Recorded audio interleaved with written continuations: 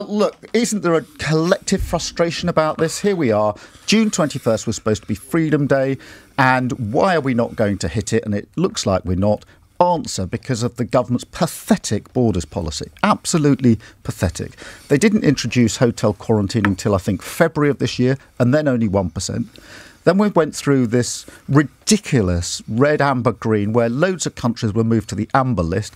On the beginning of that, they're told, well, that means you can sort of go on holiday there. Then suddenly, no, no, no, it doesn't. It's only if it's absolutely essential. Then you get another member of the government popping up saying, well, I think holidays are essential. Nobody knows where they are on that.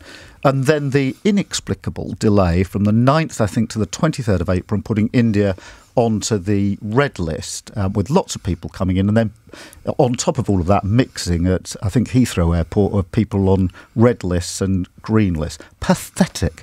Um, and is so that why we find ourselves? That is why we are here. Um, the Delta variant has got in because of the government's pathetic um, control of the borders. Why on earth did they delay in relation to putting India on the red list? Why on earth the ridiculous the, the, uh, when, when, you ask this in the House, of course, you're told, ah, but they were on the amber list. They had to go to government-approved hotels. How, how I have to put that to you. How do you respond? Well, look, of course, that's tough. And, and you know, every time I raise this, raise this with the Prime Minister, he says, he, he says, you know, rubbish, freedom, businesses. What the the net result of his pathetic approach is that we're going to have four weeks more of this.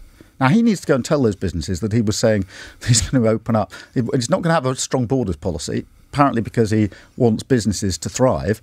What's he done? He's ended up with businesses now going to have to face, I think, probably four weeks, I hope not, um, of further restrictions.